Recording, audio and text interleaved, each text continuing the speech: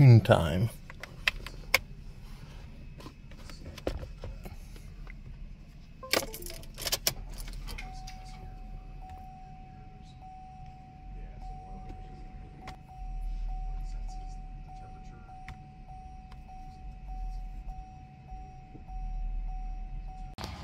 So I always pull the FSCM uh, controller. That's the fuel pump controller. Where's my mouse at?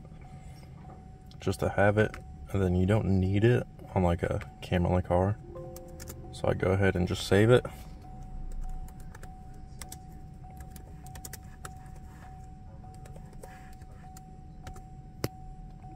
That way you have it if you ever need it in the future. So one thing you want to do with the cam car, first you need to raise your uh, airflow minimum just to get it going. With this cam, we could do five grams per second more.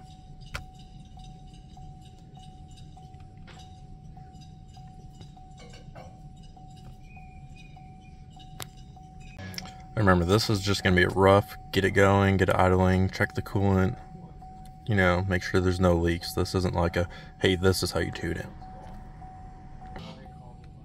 Raise your idle, because you know it's not a stock cam anymore.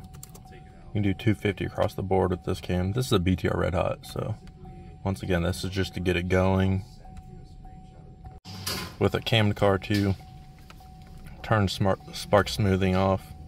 Uh, idle spark, I just make it to where it's around 17, 18 degrees. You can change your cranking startup if you need to.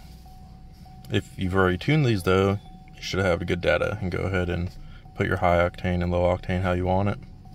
But I'm not going to do that in here. This isn't really a how to tune video, so there's other videos like that. I can give you links to how to tune programs if you'd like, but this is just a I'm tuning it. I'm not teaching you how to tune, if that makes sense. So your misfires, you might have to adjust this stuff depending on what cam you have.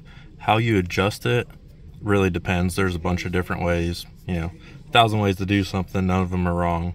So just figure out what works for you. You can hop on HP Tuners forums or some of the HP Tuner Facebook pages, and people will help you out with that.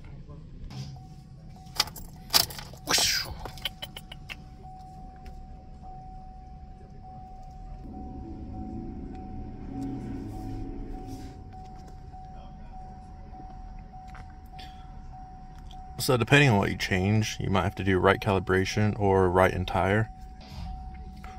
Now she's riding. About ready for that first startup.